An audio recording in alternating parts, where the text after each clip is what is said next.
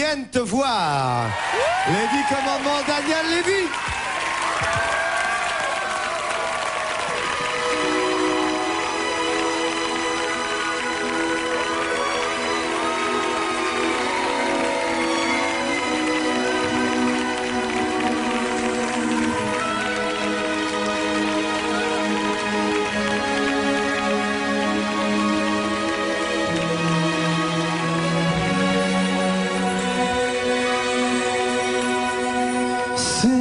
Tellement simple, l'amour,